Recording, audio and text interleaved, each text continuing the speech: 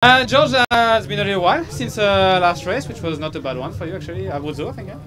Uh, no, I did the classics after. Ah, because- ah, yeah, and they were bad. yeah, I was freezing. ah, it was cold. maybe, maybe we prefer to forget this one. Yeah, yeah, yeah. Tell us a bit. Uh, how are you coming here into one of maybe the hardest Monday race in terms of? Uh, Yeah, I guess if you're strictly looking at the the parcours, yeah, it's very hard. But um, no, good. I mean, we've just been up the road. Where this is actually more the end of our training camp than anything. You know, we we've done three weeks in Isola, in altitude, in preparation for the Tour de France, and uh, yeah, we're here as sort of the last day of the camp, and then we go home tomorrow. So it's um, it's a nice way to end, and it's uh, you know we worked really hard up on the mountains, so.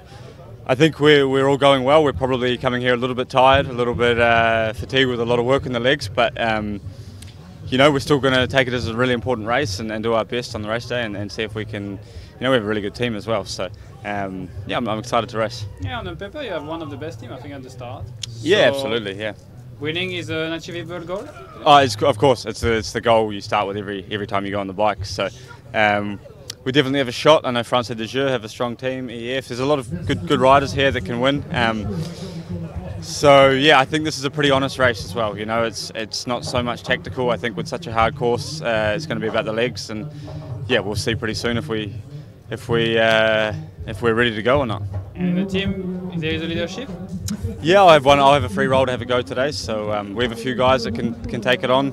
Riccitello, um, he's he's here more specifically for the race, I would say, as opposed to the Tour de France preparation. So uh, he's going to be be really good today. And uh, Stephen Williams always. I mean, no matter what race, he's a danger. So yeah. I think Stevie Williams can do good because it's a really hard day, uh, three really hard climbs. That could be a good for Yeah, I mean Stevie it depends. I mean he's he's like me. He's worked really really hard the last week coming into this race, where uh, he didn't take much of a taper. So um, there's a lot of load in the legs, and there's a good chance that that catches up with him. But maybe he's also he's such a talent, and he's such a good bike rider that he can probably also do a good result.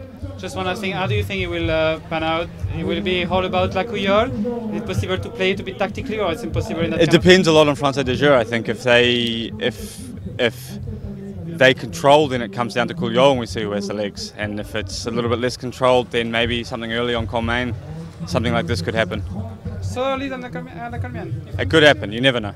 Okay, we'll see that then. Thank Okay, you very much. thanks. Best of luck.